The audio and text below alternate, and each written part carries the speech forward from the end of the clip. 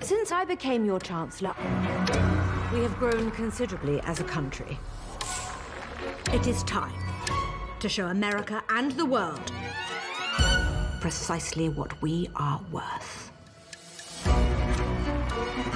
Madam Chancellor, Corporal Zubak. You're here because you are nobody. You are not anybody. And that means I can trust you. Yes, Chief. You will never be in control of this place ever again. Um. He's not dangerous, is he? Everything's fine. The Chancellor couldn't be more pleased. And we like it when she's pleased, don't we? Yeah, we do. Have some pride. Let me do my work and be grateful. Okay? Okay. Sorry. Without her, nothing makes sense! You do have a wonderful way with half-wits, don't you? Yeah, I- I'd like to see her. Is she expecting you? I'm her husband.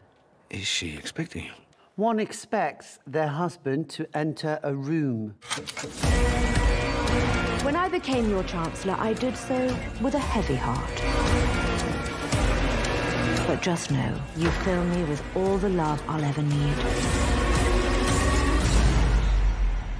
And so, I bless you all, and I bless our love, always.